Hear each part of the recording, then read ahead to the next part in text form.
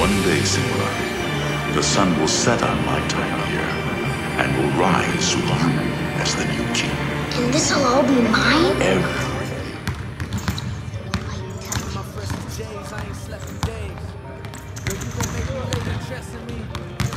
Know you ain't seen me since yesterday. See, I got a date with destiny.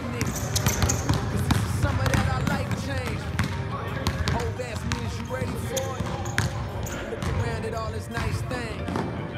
Told him, nigga, you already know.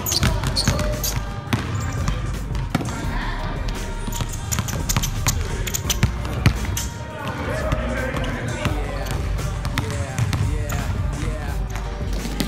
Straight through this bitch. Yeah.